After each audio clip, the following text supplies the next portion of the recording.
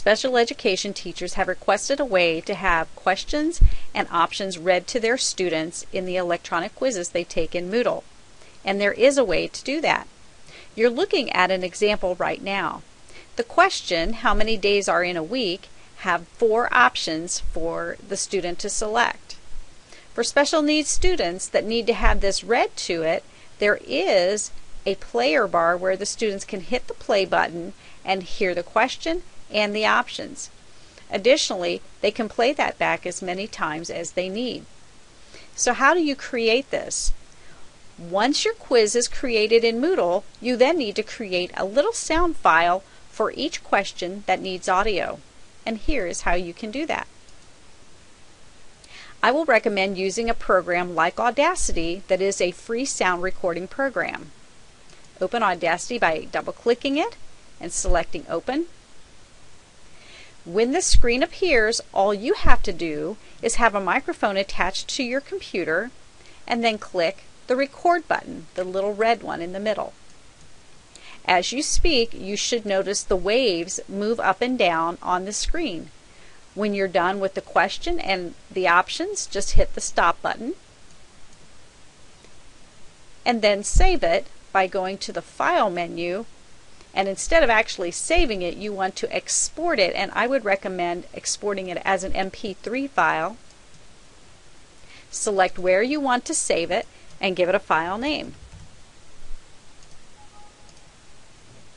At the next screen, you can either fill in the information or you can cancel past that. And then I'm going to close out of Audacity and go back into Moodle.